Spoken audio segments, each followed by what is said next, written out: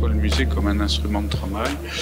évidemment, le musée d'État est un musée qui représente la nation, qui représente le patrimoine. Il n'a pas la même mission que celui que j'ai en tête, donc euh, la, structure telle qu'elle est aujourd'hui est pour moi très bien. Elle est de bonne taille, elle est humaine, elle est surtout euh, confortable pour les visiteurs.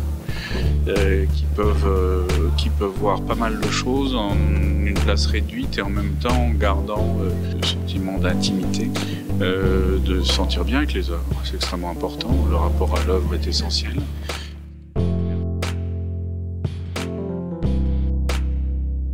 La signature, c'est retrouver en quelque sorte les quatre ou cinq caractéristiques les plus représentatives de ce que j'ai en tête pour représenter, euh, pour donner au public l'idée que je me fais de l'art, ma vision de l'art.